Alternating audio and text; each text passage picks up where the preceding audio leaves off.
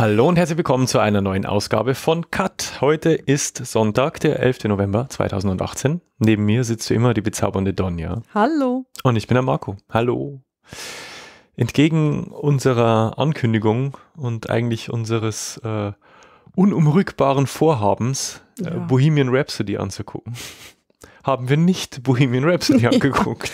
Habt ihr vielleicht auch schon gemerkt? Oder noch nicht?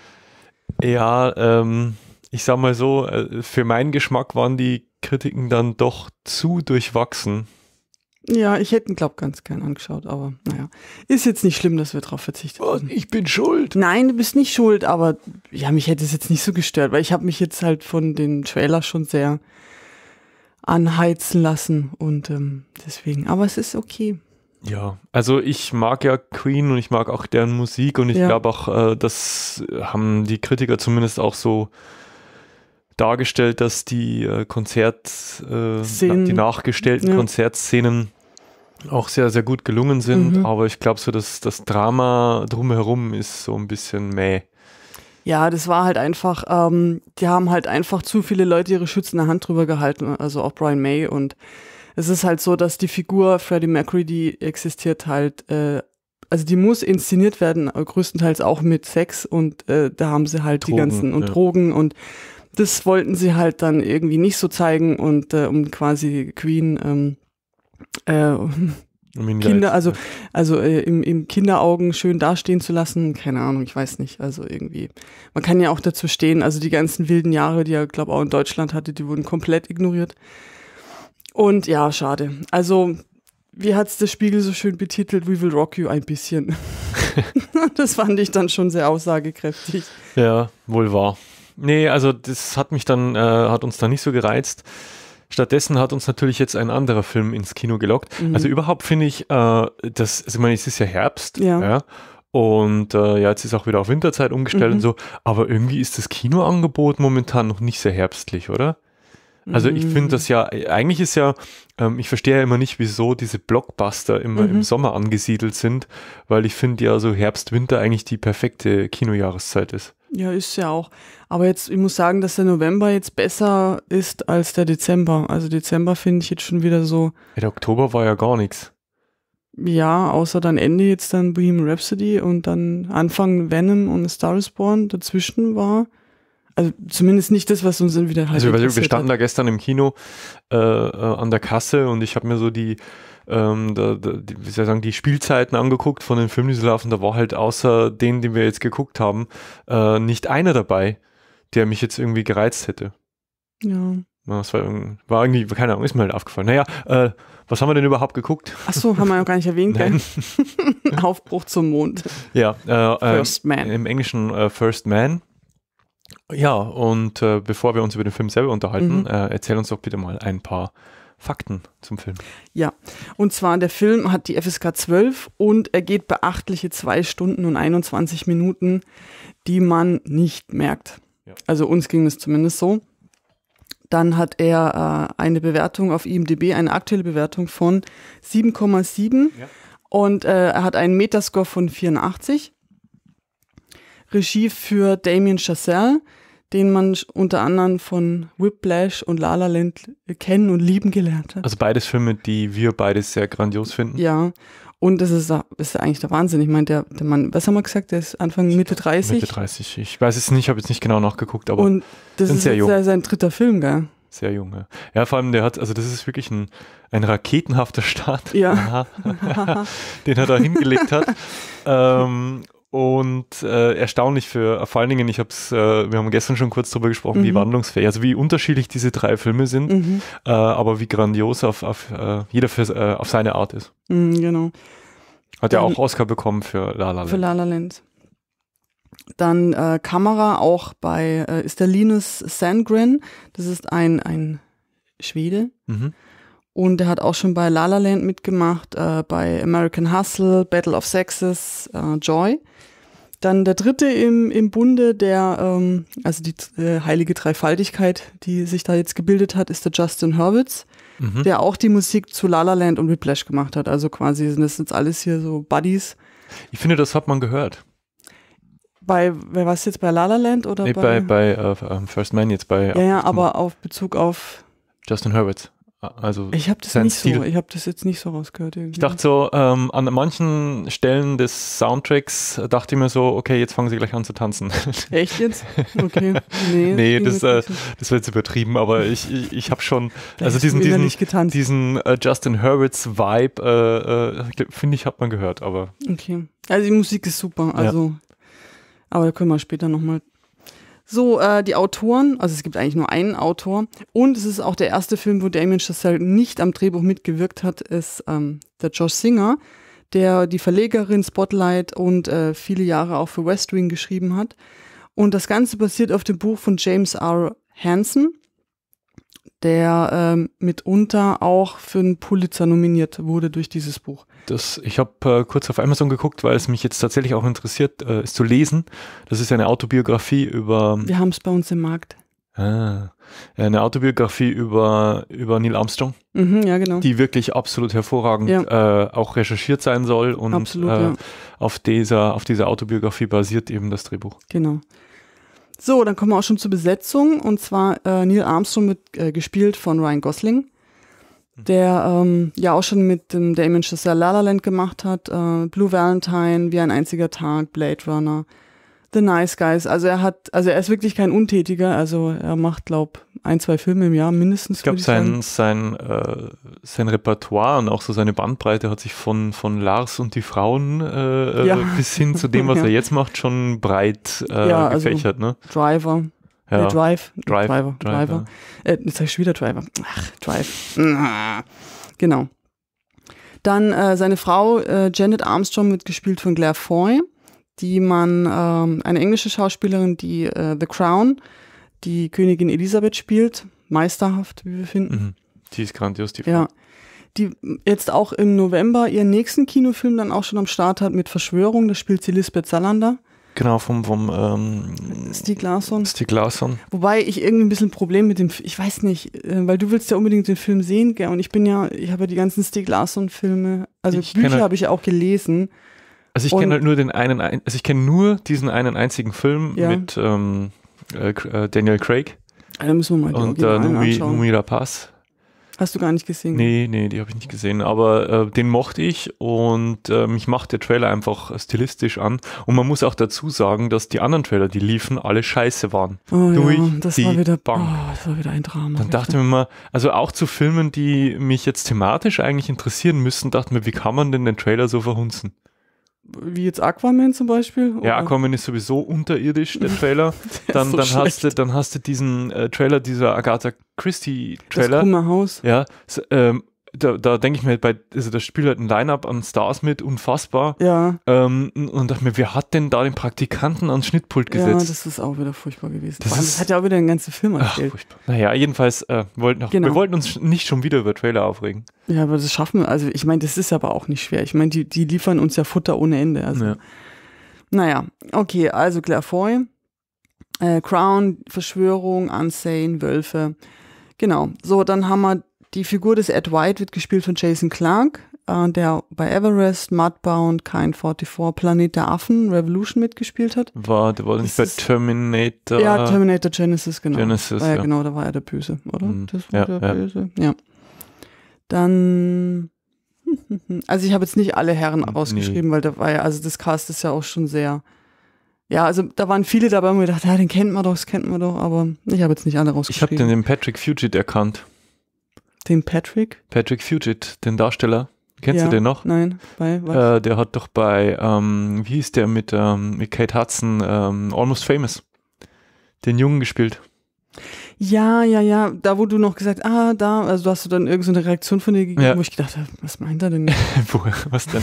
Was Patrick, will er mir Patrick sagen? Fugit, der, Okay, der, weißt du, den, ja, den, ja, ja, den, ja. den Jungen. Ja, klar, ich dachte auch, man, das, Der ist halt, schon. äh, ja, alt geworden, aber man sieht ihn auch nicht so häufig. Nee, aber irgendwie sieht er doch nicht alt aus. Ich habe ein Ja. Katzenhaar in meinem Mikro, gell? Ja, Hm. woher das wohl kommt. Ja, komisch. Ich habe auch nur eine Katze auf dem Schoß hocken. Ja, so. Ähm, jetzt bin ich wieder raus. Okay. Der Dee Clayton wird gespielt von Kyle Chandler. Der hat bei Argo Su- Super 8, äh, Game Night. Das war der Vater in Super 8, oder? Ja, genau. Und äh, in Game Night der, der, äh, Der Bruder. der Bruder, ja, genau, Ah, ja. wo so angegeben hat, wie toll er doch ist. Aha. Der hat ähm, ja ein bisschen unter, untergespielt. Also der war so, so beiläufig. Ja, es war halt eine, Viele eine waren auch so ziemlich beiläufig, belanglose gell? Nebenrolle eigentlich. Ja. Hat Naja. jetzt auch nicht viel, viel Zeit zu glänzen, muss man auch so sagen. Ja. Dann Buzz Aldrin.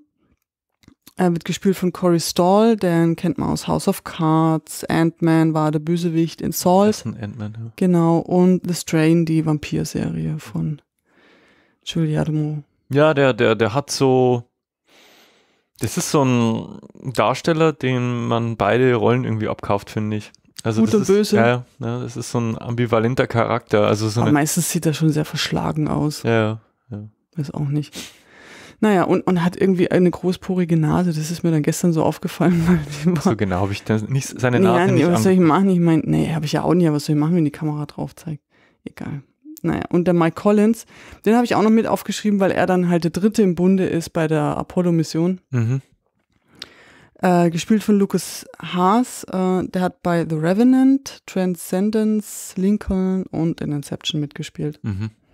Genau, und dann habe ich es eigentlich auch schon gut sein lassen bei dem Cast, weil wie gesagt, also da sind halt viele dabei, ähm, ja, wo mehr oder weniger, also zu sehen sind, aber ich finde die Neben, also da, bei den Nebendarstellern hat jetzt keiner so richtig so sich Ja, es ist ja auch herausgespielt. ein Neil Armstrong Biopic. Ja. Also genau, also da haben sie schon auch den Fokus ganz Ja, klar auf ja. die zwei Hauptdarsteller. Also sie ja genauso und er auf jeden Fall. Ja, sagen wir mal so, wenn man sich mit, mit der äh, Geschichte der amerikanischen Raumfahrt so ein bisschen äh, beschäftigt, dann äh, kommen einem natürlich, fallen natürlich schon Namen, ähm, die, die einem auch bekannt vorkommen, die vielleicht auch in späteren ähm, Missionen nochmal eine Rolle spielen und so Mhm, weiter. Ja. Ähm, aber ganz klar, ähm, wie du schon sagst, der, der Fokus liegt äh, bei Neil Armstrong. Genau. So. Darfst du den Tre- Ja. Dann äh, lesen? Genau, dann habe ich meinen Pressetext mitgebracht. Der ist auch nicht sehr lang. Ähm, er gehört zu den größten Helden des 20. Jahrhunderts. Neil Armstrong, der erste Mann auf dem Mond. Aufbruch zum Mond erzählt aus Armstrongs Leben und von den enormen Konflikten und Entbehrungen, mit denen der Pilot vor und während seiner legendären Mission konfrontiert war. Gleichzeitig schildert der Film auf ergreifende Weise die hochdramatischen Ereignisse des amerikanischen Raumfahrtprogramms zwischen 1961 und 1969. Oh, das war's. Ja. Ein guter Pressetext. Ja, kurz und knackig und Ja. äh, er fasst eigentlich ziemlich genau zusammen, ohne jetzt äh, zu sehr ins Detail zu gehen, äh, was, was der Film uns zeigen will. Wie war denn so deine Erwartungshaltung? Ja, also ich habe mich auf jeden Fall sehr auf den Film gefreut. Und die Erwartungshaltung, die war ja jetzt schon, schon hoch, weil im Vorfeld natürlich auch der Film sehr gefeiert worden ist. Ich meine, er ist jetzt auf diversen Festivals auch wieder gelaufen im Sommer. Und die Kritiken, die waren durchweg gut. Und deswegen war ich da schon sehr gespannt und erwartungsvoll. Ich sage mal, äh, you had me at Neil Armstrong. Ja. ja, ist mich jetzt nicht so. Also ich meine, ich mag ja Science-Fiction-Filme und natürlich finde ich es auch spannend, ähm, da auch Raumfahrtfilme anzuschauen, so wie äh, jetzt Gravity oder äh, Apollo 13 mit Tom Hanks. Das sind alles so Filme, die schaue ich schon gern. Aber ich war da jetzt mit den Namen auch, wo du dann gesagt hast, Buzz Aldrin, ich so, hä? Weißt du, innerlich, hä, wer ist das? Weil mir halt nur Neil Armstrong was gesagt hat. Die anderen Namen haben mir Ja, alle der, nichts der gesagt. Buzz Aldrin ist der zweite dem ja, Mond. genau. Die zweiten. das ist halt genau, was man immer sagt. Den zweiten Ja, kennt man halt nicht. ja. Die Okay, ganz zu Geschichte- schweigen, weißt du noch, wie der hieß, der in der Kapsel geblieben ist? Ja, das ist ja der Mike Collins. Genau. Genau. Aber Jetzt das, weißt du's. Ja, jetzt weiß ich es, aber vorher wusste ich es nicht. Ja, das ist traurig, aber, aber wahr. ja. Ähm, nichtsdestotrotz, also wie gesagt, ich bin mich fasziniert, äh, Raumfahrt im Allgemeinen, Science Fiction im Speziellen sowieso und äh, fand das schon als Kind faszinierend und habe hab schon Saturn 5 Raketen bestaunt in irgendwelchen Lexika und so. Und äh, insofern, und das gepaart mit, mit Damien Chazelle, äh, schon auch mit dem Erstaunen, dass er sich halt jetzt wieder was komplett anderem zuwendet, ja, habe ich mich schon drauf gefreut. Und der, der Trailer hat mich, hat mich dann auch angemacht. Der ist so wirklich Ich habe auch nur einen geguckt Mhm. und wie so, also wie, so, so wie ich es eigentlich, eigentlich immer handhabe. Also einen gucken, den ersten meistens und sagen, Mhm. okay, passt, passt nicht. Äh, weitere setze ich dann meistens aus. Mhm. Wird, wird nicht besser. Meistens. Meistens nicht. Nee. Ja, und wie war denn so unsere Reaktion, als wir den Kinosaal verließen? Ja, super. Also das war Wahnsinn. Also total geflasht. Ähm, wieder so ein bisschen ja, genervt, weil keine Ahnung, was da wieder im Kinosaal saß. Also ich weiß auch nicht, was. Ich würde mir halt manchmal, also wirklich meine Bitte dann nach draußen. Also wenn ihr halt, wir, wir gehen ja auch nicht in Filme rein, wo wir nicht sehen wollen um, wir könnten jetzt auch in Filme reingehen und sagen, uns ist langweilig, wir gehen rein und machen den anderen irgendwie den Abend kaputt. Und irgendwie habe ich so manchmal so das Gefühl, dass die Leute nicht mit ihrer, nichts mit ihrer Zeit anzufangen wissen und da war halt auch wieder. Zwei so Pärchen, ne? Äh, ja, es waren so Pärchenabend und die haben dann irgendwie gedacht und die eine, die war halt null, null angefixt an diesen Film und das hast du die ganze Zeit gemerkt und da war halt immer ein dummer Kommentar und immer, also ich habe mir ja echt bemüht, das immer auszublenden, aber ab und zu, es ging halt nicht und es gibt dann halt eine, äh, immer wieder auch Stellen in dem Film, da ist es halt einfach ruhig und da merkst du dann erstmal, wie wenig die Menschheit mit Ruhe auskommt. Ja, ich finde es halt schade, dass, dass einem halt so ein Filmerlebnis immer, immer wieder äh, getrübt wird. Durch, durch, Mitmenschen. Das merkt man halt jetzt schon, weil das Erste, was du erzählst, ist, dass, äh, dass du dich über die aufregen musstest. Was ja eigentlich schade ist, dass, dass sich das, ja. dass dich das halt so, ja, dass das halt auch ein Eindruck ist, den du damit rausnimmst, einfach aus dem Kinosaal, anstatt halt einfach nur zu sagen, wow. Ja, ich meine, ich sag ja auch wow, aber das ist halt einfach wieder dieses, ich, ich nehme das halt trotzdem wieder mit raus. Das ja. ist, also ich lasse mich da auch halt auch leider immer so leicht ablenken.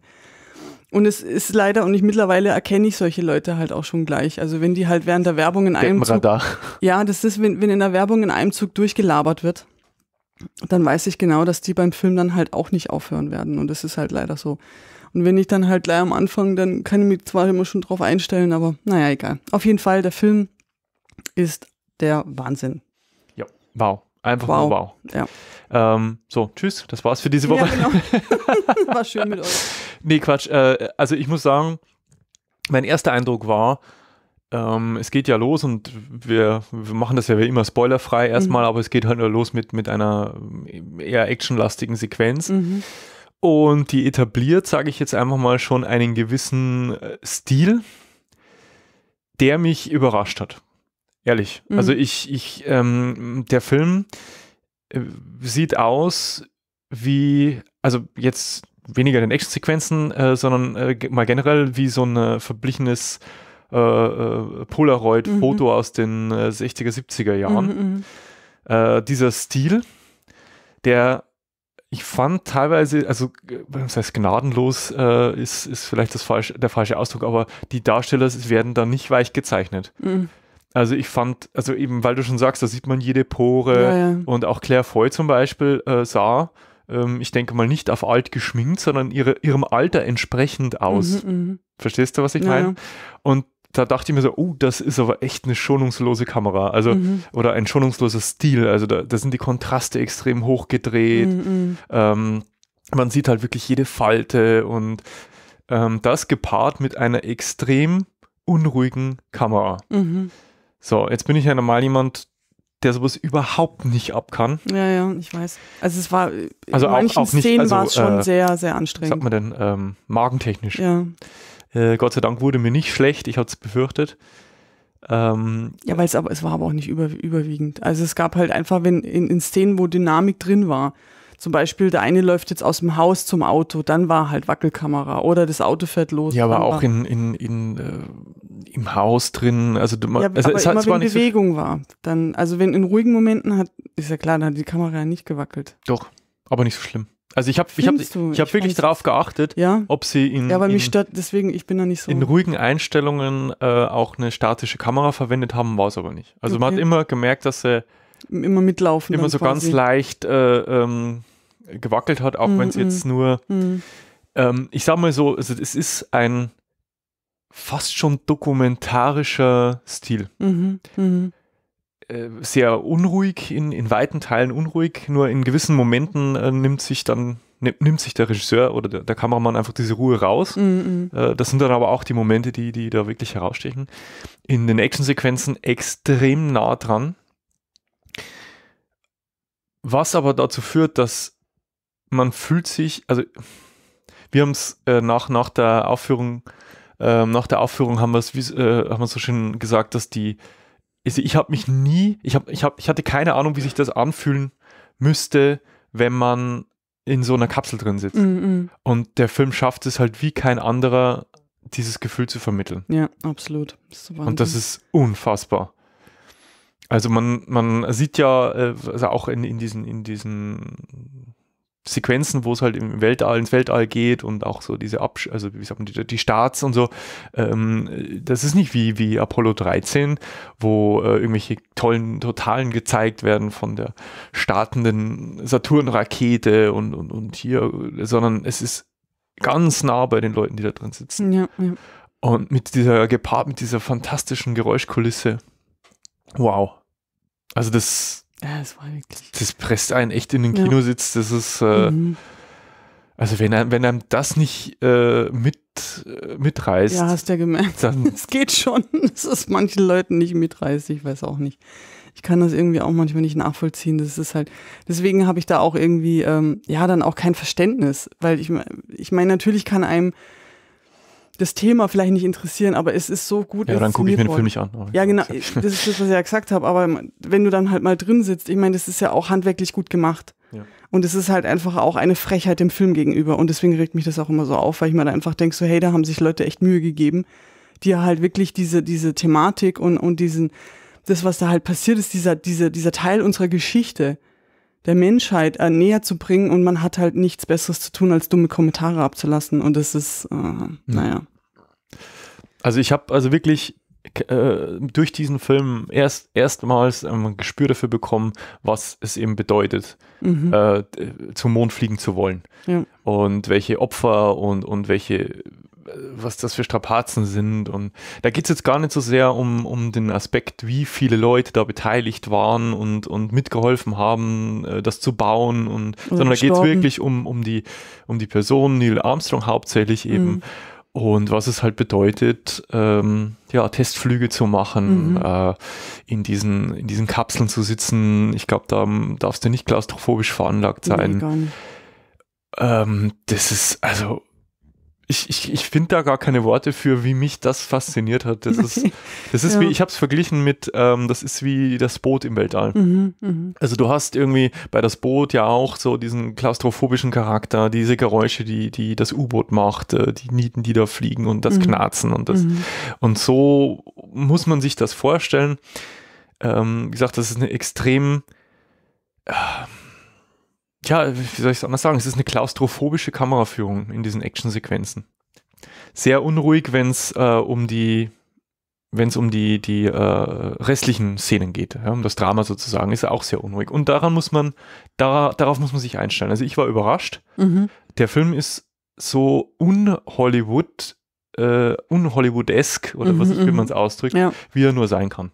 Also wenn man hier äh, First Man liest, der erste Mann auf dem Mond, dann rechnet man ja mit Patriotismus und Pathos pur und, und äh, was weiß ich, und hier fett aufspielenden Geigen und äh, also Ja, nee, also er ist halt immer, viel ja. roher Mhm. und äh, ehrlicher, schonungsloser, als ich das gedacht hätte. Deswegen will Trump den Film ja auch nicht sehen. Ja.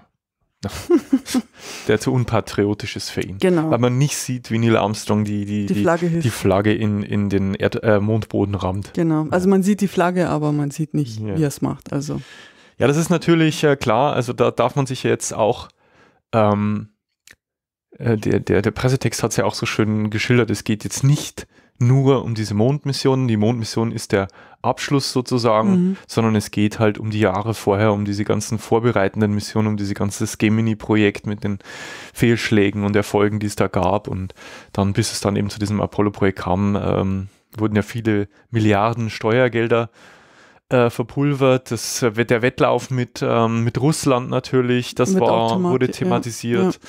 Natürlich auch so ein bisschen der Unmut der Bevölkerung, äh, weil halt äh, die, die Erfolge sich nicht einstellten.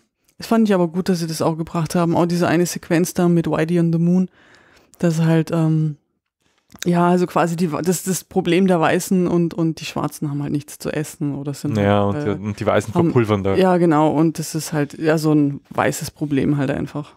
Das fand ich übrigens einen interessanten Aspekt, weil ähm, so diese Doppelmoral einfach, äh, die da auch vorherrscht, wo man sagt, ja, ähm, also du brauchst da als jemand, der da diese Vision hat, mhm. auch diesen langen Atem, um zu sagen, okay, ich weiß, was das dem Volk äh, bringen wird äh, oder dieser Nation bringen wird, wenn das ein Erfolg ist. Und dann hast du halt eine lange, lange, lange, lange Durststrecke, bis mhm. sich diese Erfolge einstellen, wo dann halt die Kritiken immer lauter werden und der Kongress sagt, oh, wozu sollen wir hier noch Geld ausgeben ja. und so weiter.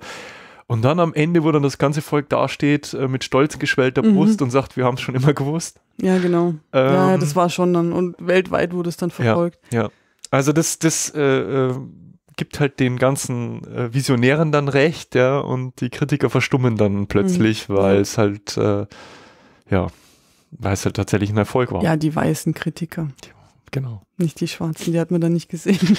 ja, aber es ist, äh, also auch dieser Aspekt bleibt, äh, bleibt nicht, nicht unbeleuchtet. Das ist natürlich nicht immer ein, ein nicht immer alles eitel Sonnenschein. Ja. Wow, ja. Ja, gibt's, ähm, bezüglich der Darsteller, haben wir da noch irgendwelche äh, Highlights? Ja, mein Ryan Gosling mhm. ist. Absolut, also ich finde, es ist sein bester Film. On, on, also on the top of his game, wie man ja. auf Englisch so, so schön sagt. ja. Finde ich Wahnsinn. Also, das ist. Ähm, ja, das ist eigentlich brauchen wir, ich finde, bei dem Film brauchen wir gar keinen Spoiler-Teil, weil die Geschichte kennt ja eh jeder. Das stimmt eigentlich. ich meine, ähm, naja, also auch es gibt schon ein paar Szenen, glaube ich, die, ja. man, die man besprechen kann. Man weiß ja nicht, was äh, vorkommt, wie es vorkommt. okay. Ja, Überraschung, er landet dann auf dem Mond. genau, Surprise. ja. ja, ich meine, ähm, das weiß man aber auch im Vorfeld, dass ja seine äh, Tochter auch gestorben ist an Krebs. Wusste ich nicht. Spoiler. Spoiler. Ey, wusste ich auch nicht, aber ich habe es dann halt gelesen. Ja. ja. das ist halt wieder, ja, das weißt du als, als Raumfahrt interessierter ja, Mensch weil, nicht. Weil ich, weil ich keine, äh, also von der Person Neil Armstrong nichts weiß. Ja, ich weiß äh, von der Person als äh, Astronaut, aber nicht Privatperson kannte ich nicht. Wusste ich nicht. Ja, ich wusste auch nicht. Auf jeden Fall die Trauer, die hat er einem schon sehr Zugesetzt. spüren lassen. Mhm. Also das fand ich schon sehr, also sehr zurückhaltend gespielt, aber ich meine, er ist ja auch jetzt auch kein ähm, Over-the-Top-Darsteller. Also so einer, wo ähm, dieses ähm, Overacting. Overacting, genau, das, das Wort habe ich gesucht. Das gesucht habe ich gewort. nee, der Typ ist. ist, der, der overact ja nicht und deswegen, er macht es immer sehr ähm, subtil, aber wirklich ähm, ganz toll. Also Wahnsinn. Also ich habe da echt ein paar Mal eine Gänsehaut bekommen, wenn es dann um den Tod seiner Tochter ging. Also also Claire Foy ist ja auch ähm, eine Klasse für sich, finde ja, ich. Also die Frau hat, hat auch eine. Hat die noch riesigere Augen bekommen? Also manchmal habe ich das Gefühl, ich, ich, die, die verschluckt dann jetzt gleich mit den Augen. Also gerade gegen Ende dann, äh, die, die wurden ja immer größer und das war schon krass. Also. Ja, aber die hat halt auch Power, also ja, die, hat eine wirklich, Ausstrahlung und, ja. und die kann, die hat auch so ein ganz, ähm, wie soll ich sagen, so, sie beleuchtet, also sie, äh, sie beleuchtet also den Aspekt so stellvertretend für alle Astronautenfamilien, finde mhm. ich, äh, was halt so in den Frauen vorgeht äh, und natürlich auch in den Kindern, wenn ihre Männer äh, so lebensgefährliche, hochlebensgefährliche, äh, hoch, ähm, ähm, hochge hoch lebensgefährliche Arbeit nachgehen. Ja? Mm, ja? Und das macht sie sehr, sehr gut. Ja? Und das macht sie sehr subtil.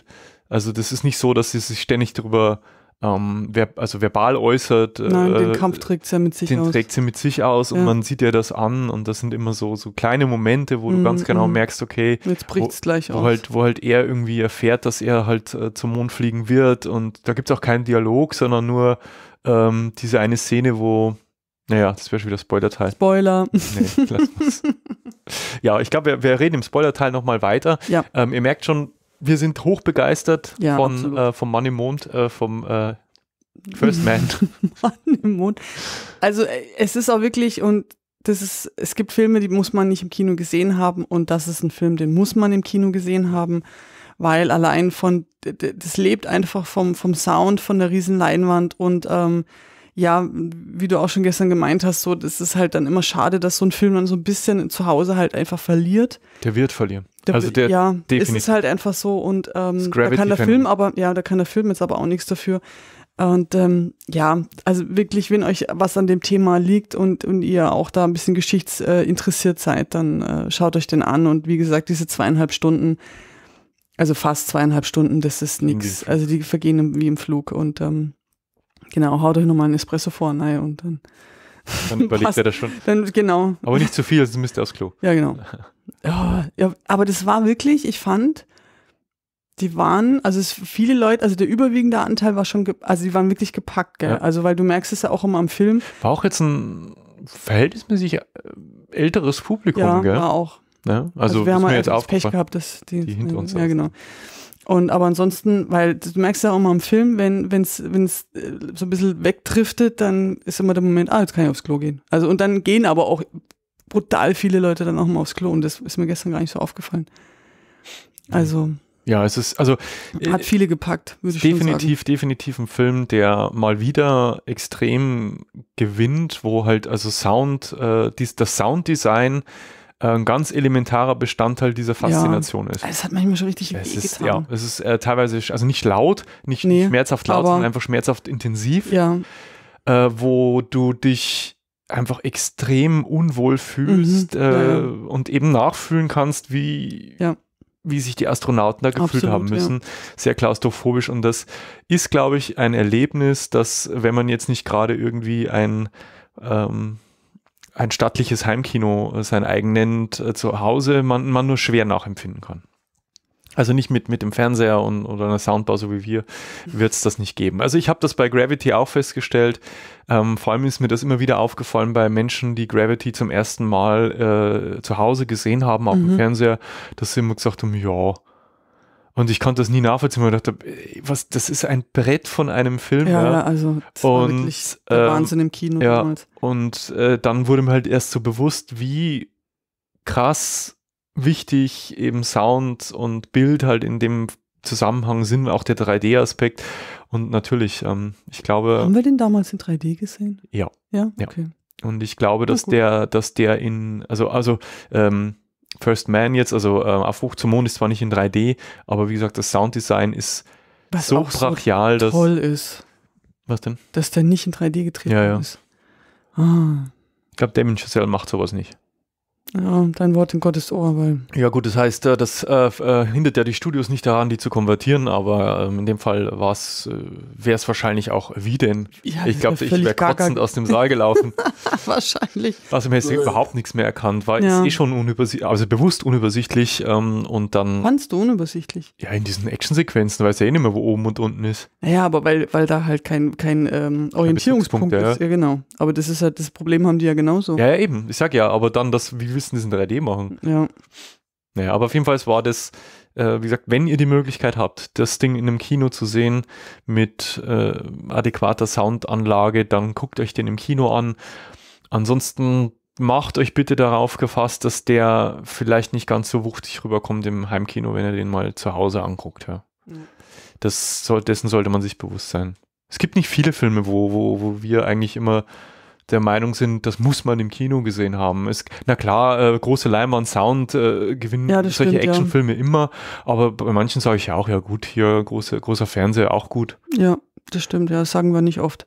Aber das gab es das erste Mal, dass wir wirklich darauf drängen würden, den, ja, weil, weil man das nicht nach, äh, ähm, das kann man nicht nachempfinden zu Hause, Ja, das stimmt, ja. glaube ich nicht.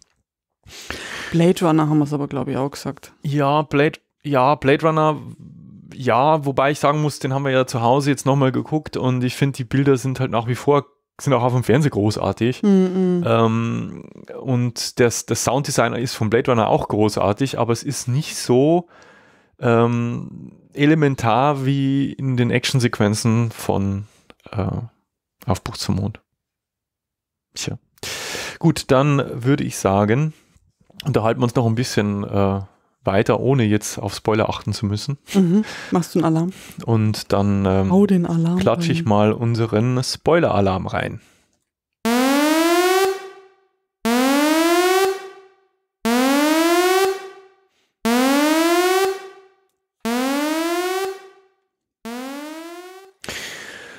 Ja, was ich, was ich vorhin eigentlich erzählen wollte, weil ich Mhm. es äh, ähm, unterdrückt habe, um niemanden zu spoilern.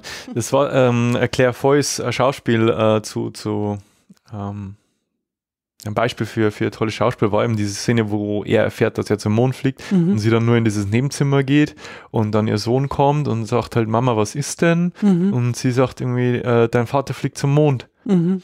Und das, was sie da sagt oder versucht, irgendwie da so diese, gut, das war jetzt Synchro, aber so diese Freude da reinzulegen. Mhm. Aber der Gesichtsausdruck dazu Ja.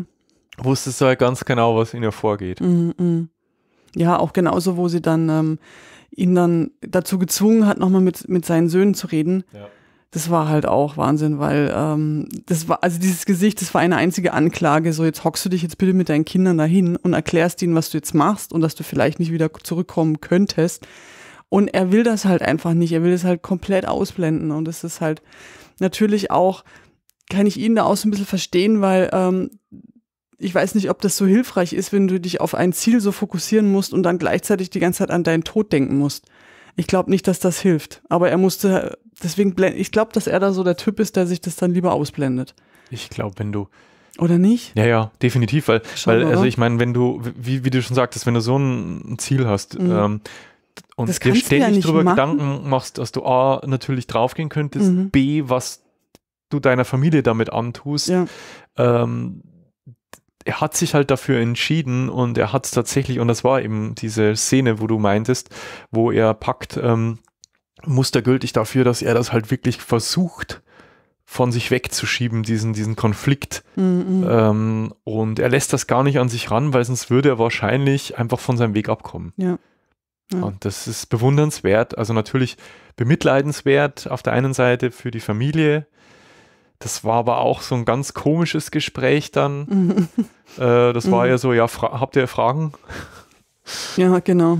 Ja, Ähm, aber du darfst da halt einfach Der einzige, der, keine Angst haben. ja, der es geschnallt hat, war so ein bisschen sein, sein älterer Sohn, der, Mhm. glaube ich, war eher so, der war sich eher dessen gewahr, dass sein Vater nicht mehr zurückkommen könnte. Der Kleine, glaube ich, hat das noch gar nicht so. Nee, nicht so. Mhm. Ah, Es war schon, es war echt eine, auch von ihr eine großartig gespielte Szene. Ja, schon. Ja. Ja, aber äh, wie, dieser, dieser Aspekt mit dem Kind, das wusste ich nicht. Das ist aber auch gleich, glaube ich, so das Erste, was man zu sehen bekommt mit seiner Tochter, mit der die an Krebs stirbt. Ne? Ja, ja, ja. Das, äh, man sieht noch irgendwie so kurz diese, diese Strahlentherapie oder ich glaube, war Mhm, mhm. Strahlentherapie Ja, ja, weil und, ja Krebs hatte. und seine, seinem Versuch, äh, da irgendwie noch Hilfe zu bekommen und dann hat, kommt schon relativ abrupt äh, diese Beerdigungsszene. Mhm.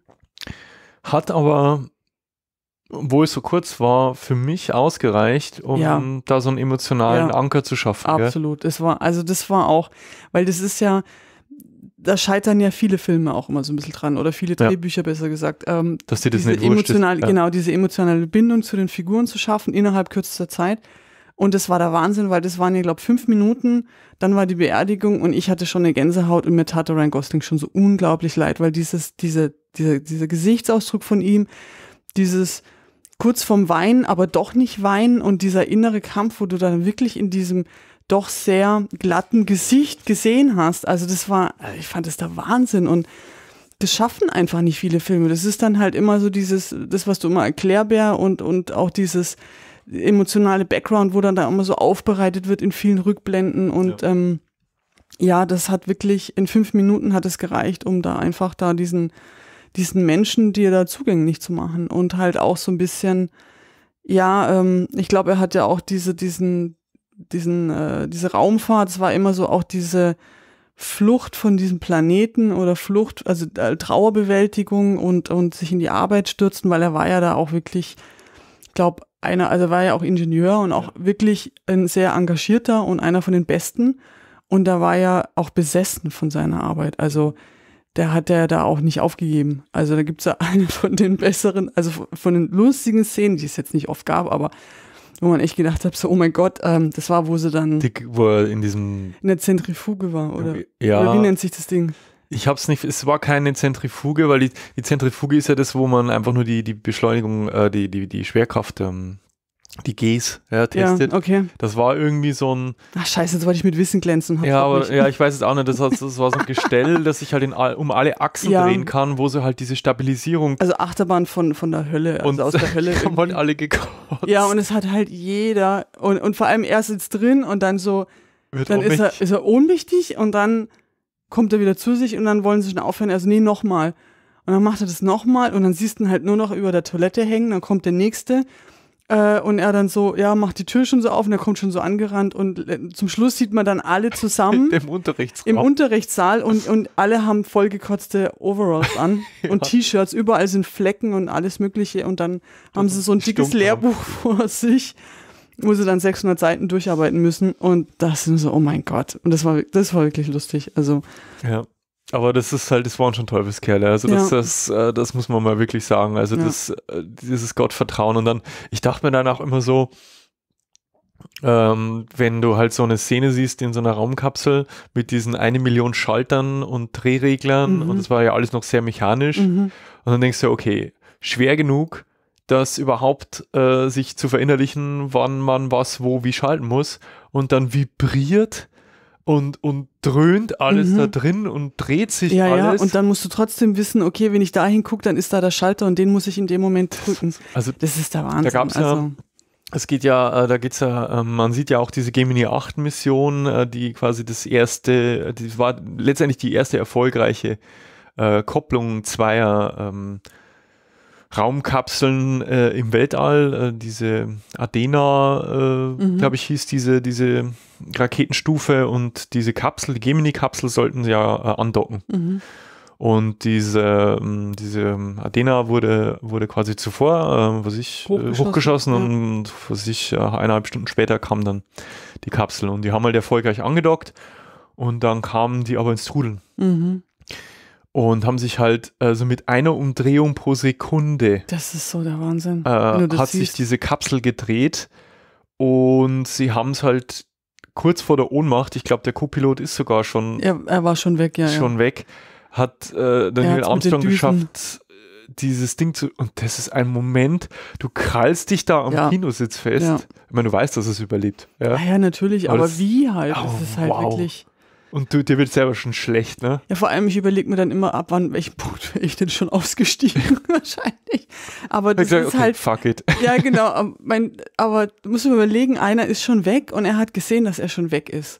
Und das heißt, du musst dich so jetzt zusammenreißen, du musst dann, sonst sterben beide. Und das war ihm bewusst und er hat es halt geschafft. Also der ist halt wirklich auch diese Willensstärke, die er da haben muss, seinen Körper auch so unter Kontrolle zu haben. Das merkst du ja, auch, das war ja diese Actionsequenz, wo du dann relativ am Anfang, wo du ihn Wo er äh, im das, Orbit ja, wo äh, er da im Orbit ist und da auch so ein von der Atmosphäre abprallt. Genau, und das da ist ja schon das erste Mal, wo du dann merkst, so, okay, und dieses Wackeln und dieses Versuchen, sich zu orientieren am Himmel auch, um nicht mal, dass du ähm, das nav- navigieren kannst, weil du hast ja alle Instrumente vor dir, aber einfach, dass du als Mensch einen, Orientierungspunkt dann einfach hast und auch für, für, für dich sozusagen, okay, wo muss ich denn jetzt hin? Weil nur die Instrumente, die können es dir ja auch schlecht. Also natürlich, du musst halt natürlich das Vertrauen in die Technik haben, aber du willst es ja trotzdem sehen und dieses immer wieder rausgucken und zu schauen, wo, wo am Himmel bin ich denn jetzt? Und das ist, also das war schon das erste so, oh mein Gott, oh mein Gott, oh mein Gott. Also, Also wenn ihr die erste. Actionsequenz seht, mit der es losgeht eigentlich, ähm, so sind alle. ja.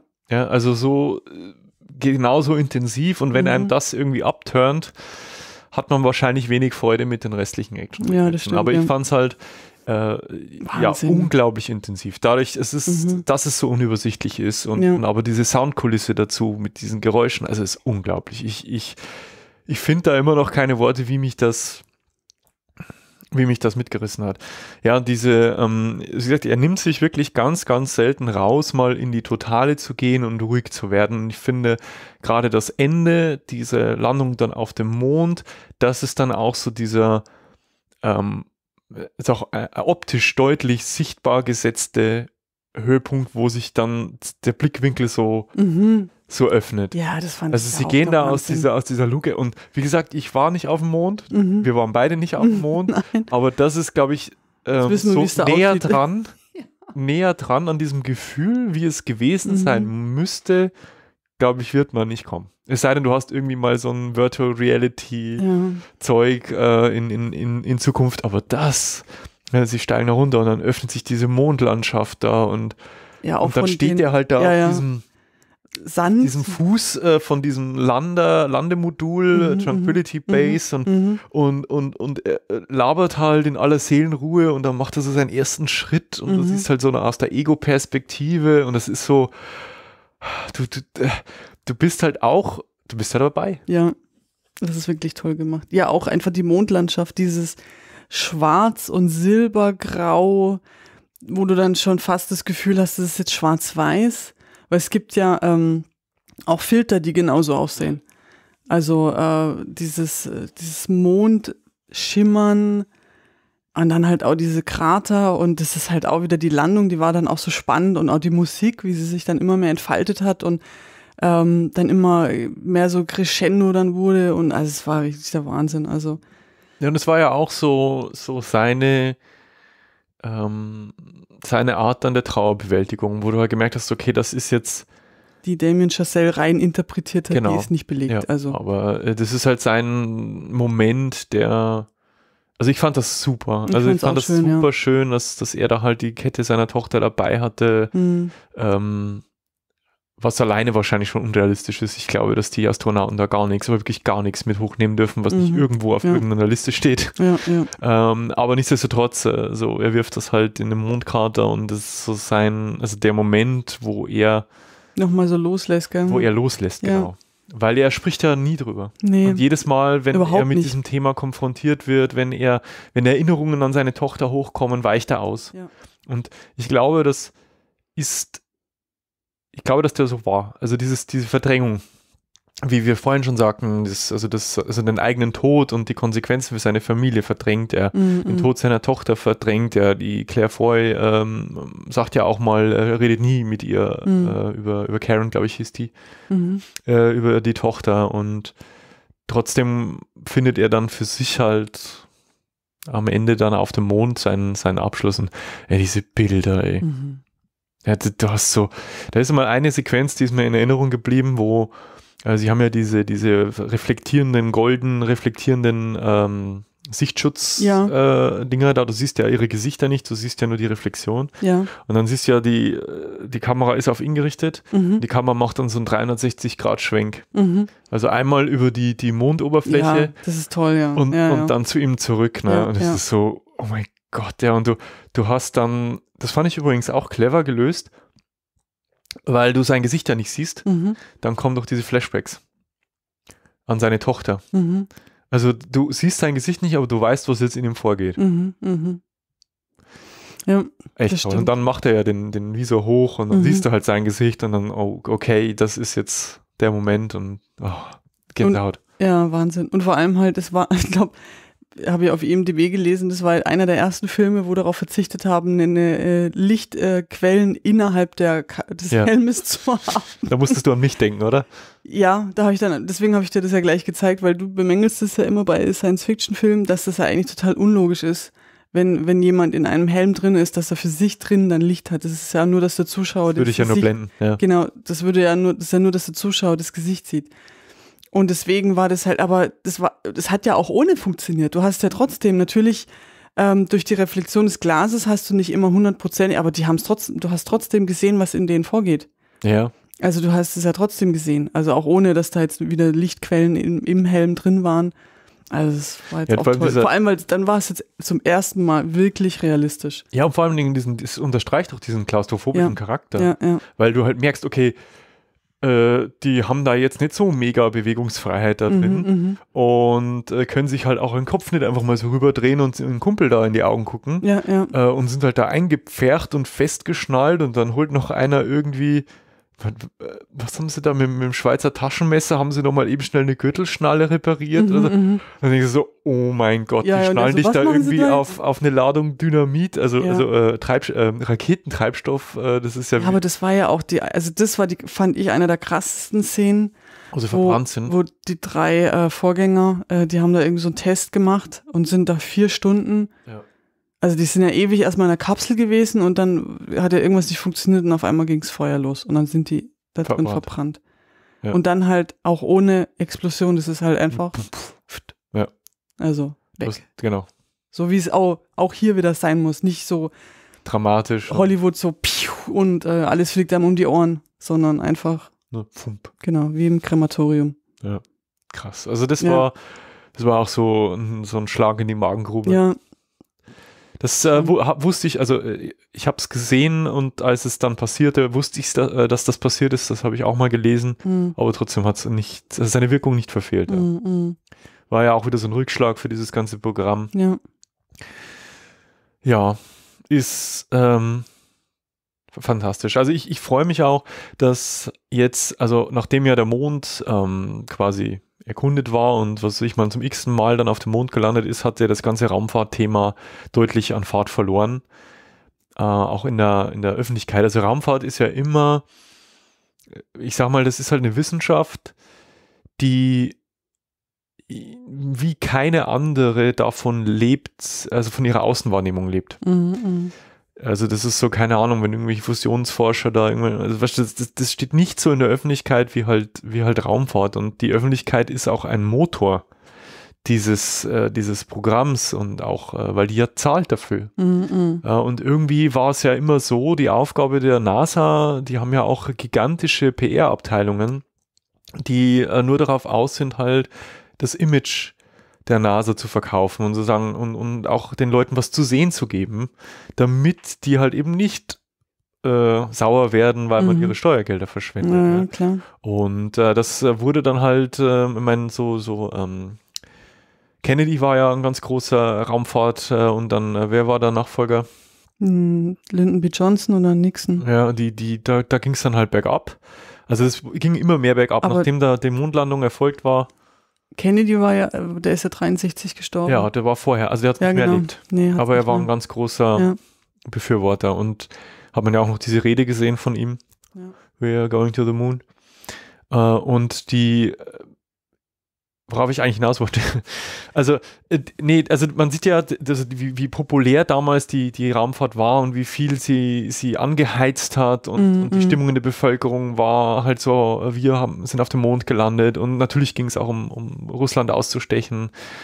Äh, hat die Nation einfach so, so ein bisschen. Äh, und ich finde es halt schön, dass es äh, wir, wir, wir mittlerweile, äh, nicht zuletzt dank, äh, Elon Musks äh, SpaceX oder halt auch ähm, die vom Steve Bezos, diese Blue Origin Raketen, jetzt wieder auf einem auf aufschwingenden äh, Ast äh, sind, also wo man halt merkt, okay, Raumfahrt wird wieder populär. Man merkt das halt, dass plötzlich so Sonden, Raumsondenlandungen wieder äh, Medienpräsenz haben, Mm, die auf mm, irgendeinen mm. Asteroiden landen und das, äh, was weiß ich, äh, die Pläne halt jetzt auf dem Mars zu fliegen und also äh, ISS und, und äh, äh, der, der, wie heißt der, der Gerst, unser Astronaut auf der ISS, ähm, also ich, zumindest vielleicht in mein, nur in meiner Blase, ich weiß es nicht, ob es woanders auch ankommt, äh, empfinde es so, dass die, die Raumfahrt einfach so eine gewisse, wieder so eine Popularität erlangt. Und das jetzt finde ich halt dadurch, dass irgendwie wird der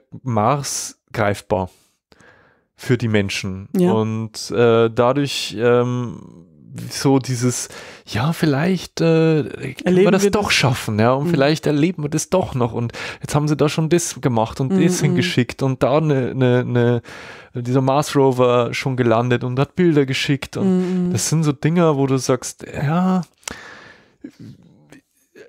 verstehst du, es geht nicht Ja, darum, was, was bringt jetzt dir das unmittelbar, wenn da jemand landet. Das bringt mir nichts, das bringt dir nichts, sondern es bringt die Menschheit halt einfach weiter und es ist einfach beeindruckend für mich, äh, zu was die Menschheit in der Lage ist. Ja, das auf jeden Fall. Aber ich meine, wenn halt, in, äh, wenn es jetzt so weitergeht und kein Umdenken stattfindet, muss, muss ja eh die Menschheit schauen, wo sie denn woanders unterkommt. Deswegen ähm, müssen sie ja das wahrscheinlich auch vorantreiben.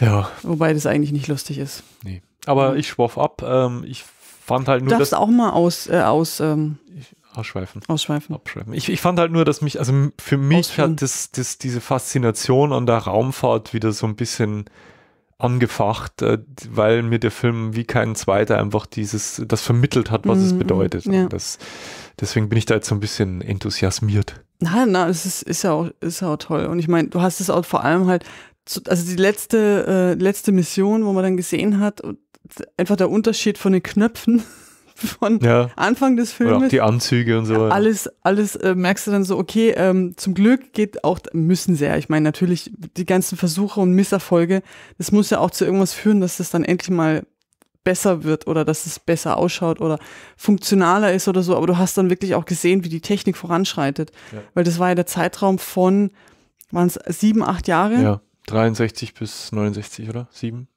Sechs. Sechs. Sechs Jahre. Ja, sechs, sieben Jahre waren es ja. Ich glaube, 61 ging es doch los, oder? Kann es sein? ja. Anfang der 60er bis Ende der Na egal. Zehn Jahre. nee, egal. Ähm, ja, und du hast halt einfach gesehen, wie die Entwicklung halt dann vorangeht. Und ähm, das fand ich dann schon auch. Ja, also es war jetzt auch Also nicht so, Wahnsinn, mir, also das zu beobachten. Sie haben zwar so ein paar so Sprünge drin gehabt, logischerweise auch, Ja, aber, aber- ich fand es nicht störend. Vor allem halt dann, das ist zehn Jahre später oder, oder fünf Jahre, fünf Monate später, dieses, das hat den Film auch gar nicht Sie gebraucht. haben sogar nicht, sie haben, glaube ich, immer nur Datum eingeblendet und Ja, dadurch, äh, das finde ich immer besser im Übrigen. ja, finde ich auch, Weil weil dann kannst das- du dich so ein bisschen besser dran orientieren. Und dann hast du auch als, ein, als, als Zuschauer nicht so den Eindruck, als würdest du jetzt da durchgepeitscht werden. Mhm, ja. Auch wenn jetzt da drei Jahre dazwischen liegen, äh, Mhm. ist es, weißt du, ist es besser, wenn da eben statt 61 plötzlich 64 steht und nicht drei Jahre später. ja, ja. Aber gut, das ist mein persönliches Empfinden. Ja, vor allem halt, du, da wird dir nicht so bewusst, dass drei Jahre jetzt fehlen. Ja. Da ist es halt einfach nur, du siehst zwei, hast zwei verschiedene Daten gesehen und denkst dann so, äh, in dem Moment denke ich nicht drüber nach. Jetzt sind die drei Monate, äh, drei Jahre später. Die denken nur, ich sehe halt das Datum, denke mir, okay, jetzt geht's weiter. Ja. So. Auch ein großer Verdienst, finde ich, des Films, dass man sich da nicht durchgehetzt fühlt, sondern Ja. dass es, ähm, dass man sich da die wichtigsten Ereignisse halt rausgepickt hat und ja, wie gesagt, Neil Armstrong, ich, ich hatte jetzt, also ich denke, ich habe jetzt eigentlich also eine Ahnung davon, was für eine Art von Mensch das ist und das ist ja eigentlich so die ähm, die Hauptaufgabe, denke ich, eines, eines äh, Biopics, ja, dass man halt hinterher einen Eindruck davon hat, was, ja, was das für ein Mensch war. Ja. ja. Großartiger Film. Jo, wie sieht's denn aus mit einem Ausblick? Haben wir, Ja, ja, haben wir noch was? ja, ja.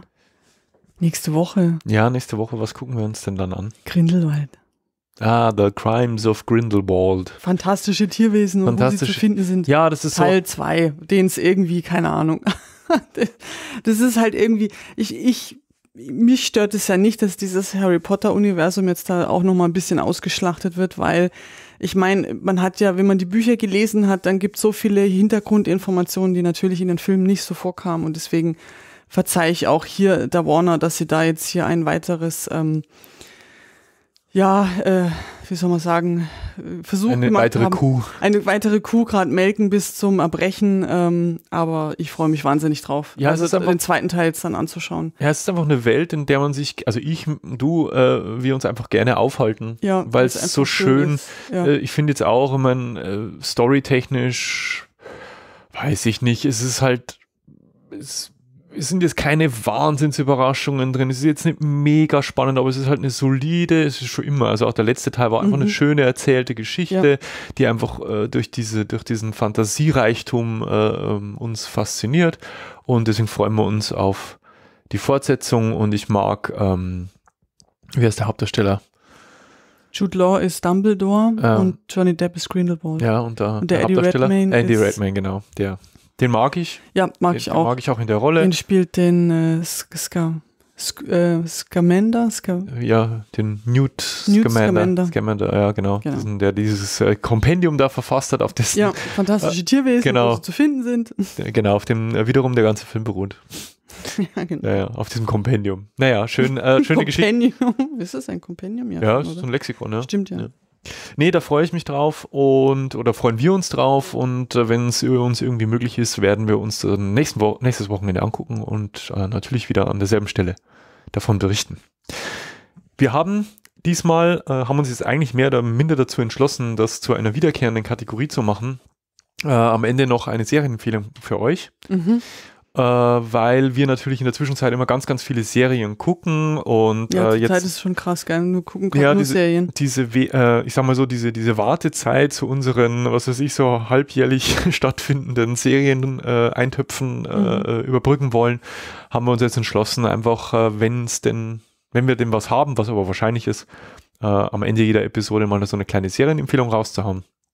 Äh, was haben wir denn diesmal? Ja, und zwar, wir haben mit einer großen Begeisterung ähm, die dritte Staffel von Daredevil angeschaut auf Netflix. Ja. Und das ist wirklich, ähm, das macht jede äh, Luke Cage, jede äh, Gl- Glitzerfaust oder, oder Iron Leuchte, Leuchtefaust und äh, Jessica Jones, es macht alles wieder gut, weil Jessica Jones haben wir, glaube ich, so ein bisschen uns im Frieden mitgeschlossen, aber, aber, mit anderen nicht. Naja, aber vor allem, äh, naja, Die wirklich, war halt auch. Die zweite Staffel haben wir ja bis jetzt noch nicht fertig geguckt. Ich glaube, wir haben drei Folgen angeschaut und dann hat es uns irgendwie auch schon wieder verlassen. Ja, Ja, und es ist halt einfach, Daredevil ist für uns einfach die beste Marvel-Serie, die es gibt. auf Netflix, ja. ja. Ja. Also wir haben ja mit äh, Runaways angefangen, die hat uns auch sehr gefallen, ist aber ein anderes Kaliber. Das ist, ja, das ist Guilty Pleasure. Genau. Äh, ja, also muss ja sagen, die erste Staffel Daredevil hat uns äh, von Minute 1 an damals sehr, Mhm. sehr begeistert. Dann äh, die zweite war so, ja, Bisschen da schwächer. war da das Highlight eindeutig der Punisher. Ja, das war halt, Die- Elektra war halt ein bisschen, Und die Geschichte mit Elektra, die fand ich so mäh. ja, die war echt, Ähm, nee. Und die ähm, Punisher war übrigens auch noch äh, Ja, großartig, dann muss ich als sagen. Nachfolge, Als Spin-off genau. sozusagen. Mhm. Ähm, ja, aber dann kam halt Iron Fist, dann kam Luke Cage, dann kam das Defenders und das, ich hatte so die Angst, dass, mh, dass sie mir Daredevil kaputt gemacht haben. Mhm. Weil Defenders äh, hat er jetzt auch nicht großartig rausreißen können. Ja, da war Ja, war, einfach, schon einer der besseren, aber Ja. er hat halt gut funktioniert mit Jessica Jones. Und die anderen zwei, ich weiß auch nicht, also diese, diese Pussy von Iron Fist, das ist halt wirklich. ja, Also, es ist, war echt nicht unser Ding. Ne? nein. Und dann haben wir halt die dritte Staffel angeschaut und meine Fresse war die geil. Ja, die war richtig gut. Also die haben alles richtig gemacht, ähm, was man in so einer dritten, also ich hätte es nicht erwartet, dass die Ja, nee. so Nein. gut ist. Es kehrt halt ähm, ähm, Mr. Fisk Ja, kehrt halt zurück, äh, der, der Vincent äh, D'Onofrio D'Onofrio. ähm, ist, äh, ja, Iron Man ist knüpft an die Ereignisse von Defenders an. Äh, Iron Man sage ich schon. Äh, habe auch, Daredevil, äh. Daredevil äh, ist, ist quasi am Boden, ja, Ja. sozusagen. Und, und das ist so eine, also die Geschichte ist jetzt nichts Neues, äh, aber sie ist äh, wahnsinnig gut erzählt. Ich war überrascht über das Niveau der Dialoge, Mhm. äh, die uns immer wieder begeistert haben. Es waren keine dummen Erklärbär-Momente drin, wo ich gesagt hätte, oh, da bin ich eh hochgradig Ja. allergisch gegen sowas. Ja. Das ist Äh, immer schlimm, weil du bist da halt immer so anfällig und dann verliert eine Serie immer gleich bei dir so arg und das oh, ist brutal. Also Sabrina weil- ist da ganz schön. Ja, weil ich äh, schaue jetzt gerade alleine, mehr oder weniger, ähm, die Chilling Adventures of Sabrina, Oh wie es im. Englischen heißt. Und ähm, Also das ist schon guilty, guilty pleasure. Also, ich finde ich jetzt nicht, ich finde es echt spannend und mir macht es echt Spaß, aber ich bin da auch ein bisschen mit so diesem ganzen Hexen- und okkultem Ja. Universum bin ich ein bisschen affiner. thematisch ist es fantastisch. Also und es ist wirklich, also das Setting ist der Wahnsinn. Also das, da ist wirklich Geld dahinter und das siehst du halt auch und es macht richtig Spaß. Ich finde die Darsteller auch ganz toll. Ich finde sie toll gecastet. Also das ist gerade das, was ich schaue. Ich habe es noch nicht fertig geguckt, aber und da ist halt auch die erste Folge ist halt einfach erklärbar äh, pur. pur und aber mich stört es halt einfach nicht. Ich sehe darüber hinweg Ja, das und ist so. du hockst dann halt immer mit ähm, aufgerollten Fußnägeln dran. und rollenden Augen, dauerrollend. Ja, das, ist, das ist ein einziges Rolling Stone hier. Nee, ich finde es echt nicht gut. Also das ist, nicht, es ist so eine Serie, wo ich merke, ich bin nicht mehr das Publikum. Ich habe einfach den Anspruch, dass ja dieses Show Don't Tell, also dass ich will einfach, dass man mir zeigt, was Sache ist und, und mich selber so ein bisschen er, äh, rausfinden lässt, um was es geht. Und, Ja, äh, es musste ich halt fordern und ja, und es ist Ja. halt einfach, da guckst das und es wird, du brauchst dich keine, du brauchst dir in keinster Sekunde irgendwie Gedanken zu machen, was es geht, weil es wird in der nächsten Sekunde erklärt. ja. So. Ja, wie, wie dem auch sei, um das Ist- ist ja gar nicht. Ist aber auch manchmal entspannend, weil wenn du dann halt nach einem lang, lang, lang, langen Arbeitstag zu Hause dann Ja. halt. Es ist natürlich auch so, was mal zu schauen, ist natürlich auch mal wieder ein bisschen entspannender fürs Hirn. Musst dich nicht mehr so anstrengen. Deswegen ist ja auch gut, wenn ähm, solche Serien gut gemacht werden, weil es gibt genug Guilty Pleasure Serien, wo du halt einfach lieblos in die Welt geschmissen werden, Nee, also die es dann ist, auf also RTL oder Vox laufen. Ich war über den, den Grad der Gewalt, äh, der expliziten Blut- und Ja, Größe-Darstellung war ich überrascht. Es ist, wie gesagt, stilistisch, thematisch, es ist fantastisch. Jetzt sind wir aber abgedriftet zu ich mag halt, Sabrino, gell? ja, ich Sabri- Sabrino. Sabrino. ich mag halt nur nicht, ich mag halt nur nicht diese Dialoge, ich finde die vollkommen Banane. Aber Daredevil, Daredevil Daredevil. Staffel 3, ähm, Schaut's euch an. fantastisch, ähm, ist, ist für mich die bislang beste Staffel äh, Daredevil und ähm, ja, bislang jeden, den, äh, ich kenne noch einen, der sie gesehen hat, der genauso begeistert war. Insofern dicke, dicke Serienempfehlung Ja. von uns an dieser Stelle. Genau. Dann würde ich sagen, Hören wir uns nächste Woche wieder. hören wir uns vielleicht nächste Woche wieder. In der so Zwischen vielleicht. ja, doch, weiß ja nicht. Doch, doch eigentlich schon. Ich will ja, könnte sehen. ja was dazwischen kommen. Nein. Doch. Diesmal nicht. Was, wenn einer von uns die Masern bekommt? Was? nee, nee. Ja, also äh, wir freuen uns auf alle Fälle auf den Film und in der Zwischenzeit äh, könnt ihr natürlich euren Freunden von uns erzählen. Ähm, uns auf Twitter, Facebook oder YouTube folgen. Ihr könnt äh, diese und jede andere Episode kommentieren. Oder ihr schreibt uns einfach eine Nachricht. Ihr könnt uns auf iTunes oder panoptikum.io bewerten. Und wenn ihr wollt, könnt ihr uns auf Flatter unterstützen. Ihr könnt äh, über uns bei amazon.de einkaufen. Oder ihr schickt uns einfach eine Socke mit Geld drin. Genau. genau. Ihr könnt uns auch anderweitig äh, eine Sache oder Geldspende zukommen lassen. Die Links dazu findet ihr wie immer in den Shownotes dieser und jeder anderer Episode ähm, im Podcatcher eures Vertrauens und natürlich auf cut.exclamatio.de. Tja, dann Tja. würde ich sagen, macht's gut. Eine gute Woche. Eine gute Woche. Wir Gute hören Zeit. uns äh, nächste Woche und bis dahin macht's gut. Schöne Zeit. Bis dann. Tschüss. Tschüss. I'm going to step off the limb now. That's one small step for man, one giant leap for mankind.